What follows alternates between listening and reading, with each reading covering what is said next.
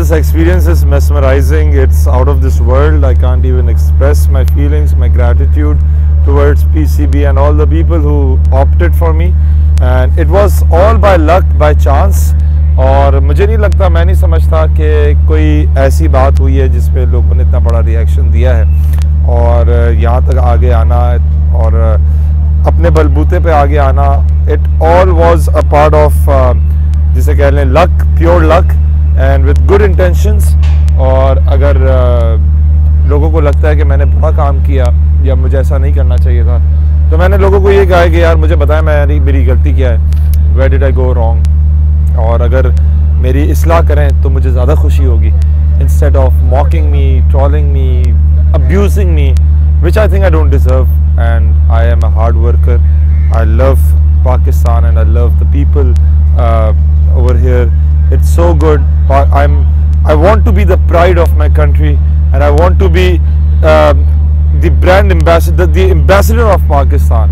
And जितना लोग प्यार दे रहे हैं ज़ाहिर है प्रोज एंड कॉन्स होते हैं ऊंच नीच होती है नरम गरम होता है लेकिन इसका मतलब ये नहीं है कि हम हार मान लें इससे बेहतर करेंगे इन इससे मज़बूत होकर आएँगे इससे सीखेंगे सबक हासिल करेंगे और इन आप भी सब देखेंगे कि वो वक्त दूर नहीं जब सिर्फ़ इस स्टेज पे नहीं हर स्टेज पर इनशाला मैं आपको नज़र आऊँगा। आपको पता कब लगा कि ये पब्लिक में रिएक्शन आ रहा है या सोशल मीडिया पे यार देखें देखें सलाम बात सिर्फ़ सिंपल सी है।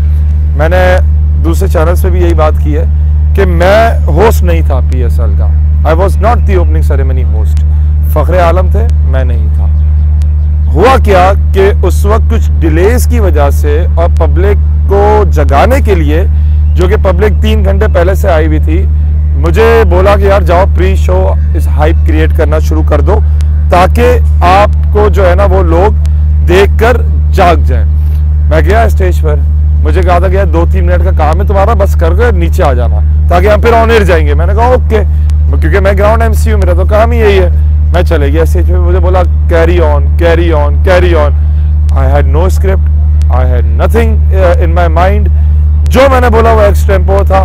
मैंने अपने दिल से बोला, मैंने मैंने क्या गलत किया? मैंने Pakistan army Pakistan rangers police PCB सबका शुक्रिया अदा किया। सारी टीम्स के लिए शोर मचवाया।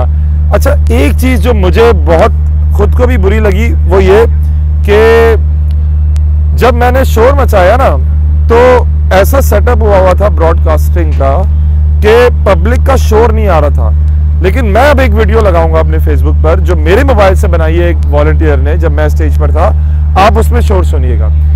टीवी पे क्या लग रहा है कि मैं बस बोलता चला जा रहा हूँ, बोलता चला जा रहा हूँ विदाउट एनी रिस्पॉन्स आप भी अरसान वहीं थे, आपको भी पता है कि एक ऐसा माहौल था जिससे मुझे मेरे रोंगटे खड़े हो गए थे। और मैं वो वीडियो लगाऊँगा ताकि लोगों की ये गलत फहमी जो है ना, कि मुझे लोगों ने रिस्पॉन्ड नहीं किया, ये गलत। और वो माइक पर कैच नहीं हो सका, पूरे स्टेडियम का साउंड सो पर्पसली मैं जो है वो वहाँ पर ग्राउंड में लोगों को बैठे हुए जगाने वाला था।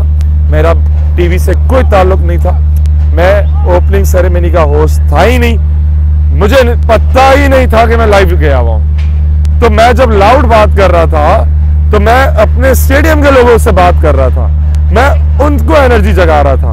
मुझे टीवी के शायकीन का मालूम ही नहीं था। लेकिन खैर है यार बस अब आपने फिर आपने सोशल मीडिया पे रिएक्शन दे दिया। तो आपको लगता है वो रिएक्शन सही था या टाइमली था वो जल्दी हो गया? यार आई थिंक वो थोड़ा सा जल्दी हो गया। क्योंकि मुझे नहीं पता था कि इतना बैकलैश आया है और इतना गलत रिएक्शन आ गया लोगों ने उसे बहुत गलत वे में ले लिया। मैंने बस यही कहा मेहनत कर हसद ना कर। मुझे लगा था कि दो चार लोग हैं जो जेलस होते हैं। और जो इस पे कमेंट कर रहे हैं, एक कैंपेन चला रहे हैं। मैंने उनके लिए ये लगाया था और ऐसे बहुत से लोग हैं जो ये करते हैं। लेकिन खैर, मुझे नहीं पता था कि पूरा पाकिस्तान है। और जब मैंने ये रियलाइज़ किया तो मैं आज मॉर्निंग शो पे भी गया। मैंने लोगों के, मैंने माफ़ी मांगी अगर किसी की दिल आज़ारी हुई। और लोगों को यही कहा गया, तनकीद बरा असलाह होनी चाहिए। तनकीद किसी की दिल आज़ारी करने के लिए जिन लोगों को आपके बारे में नहीं पता, उनको बता देंगे, आप कब से ये कर रहे हैं और क्या क्या क्या मैं मुझे याद है कि आप आतिफ असलम और सोनी निगम कॉन्सर्ट आपने यूएसए में हो पूरा टूर होस्ट किया था। तो उसके बारे में थोड़ा सा इंट्रोडक्शन देंगे कब से कर रहे हैं और क्या है। यार मैं 2015 से इस फ़ील्ड में हूँ। एक सदर में एटीएम मॉल है वहाँ पर मैं दिन के 10 घंटे खड़ा रह के शो करता था। मॉल एक्टिविटी करता था। मुझे आतिफ असलम और सोनू निगम का कॉन्सर्ट होस्ट करने की अपॉर्चुनिटी मिली अमेरिका गया मैं। तो वो स्लोगन बड़ा मशहूर हुआ था कि from ATM mall to America फिर मैं पूरी दुनिया में मेरा सफ़र चलता रहा। मैंने बड़े शोज़ किए, पाकिस्तान को रिप्रेजेंट किया। पीसीबी के साथ पिछले ढाई सालों से मैं जुड़ा हुआ हूँ और अल्हम्दुलिल्लाह अल्हम्दुलिल्लाह अल्लाह ने इज़्ज़त दी है। अल्लाह ताला इसी तरह बात बनाए रखे।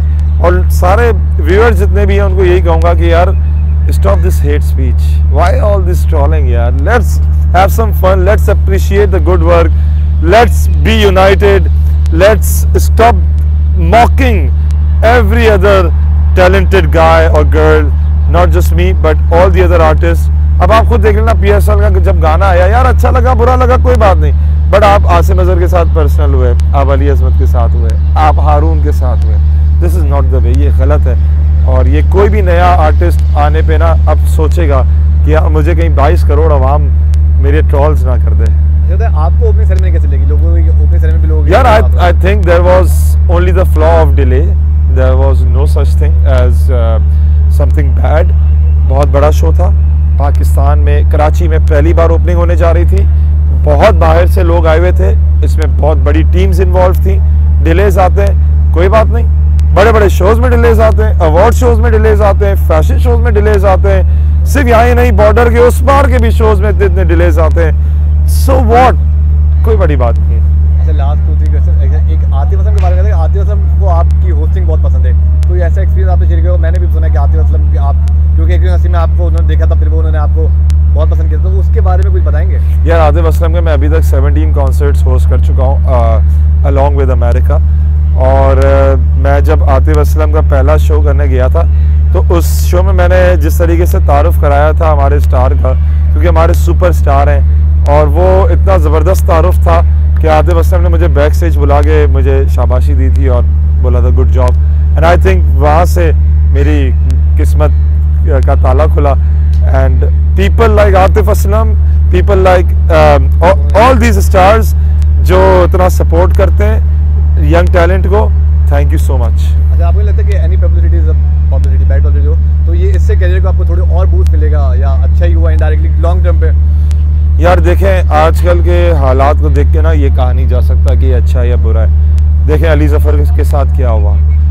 फेमिनिज़म अपनी जगह मी टू मूवमेंट अपनी जगह but he is not proven guilty और सुनने में आया था कि मीशा शफी केस भी हार गई थी। लेकिन पी एस एल में I am not allowed to play any song of Ali Zafar.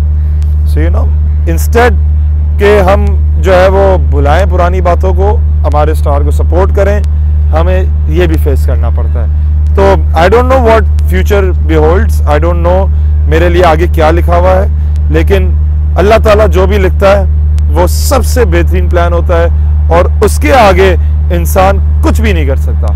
ये बात है। लास्ट में आपकी ग्राउंड में एक्टिविटीज़ में करते क्या? थोड़ा सा कुछ यार मेरा काम होता है सिर्फ़ सिर्फ़ कराची। हाजी तैयार हो। तो फिर लोग कह देते यार है फिर नारे। लगाते हैं आप हाँ।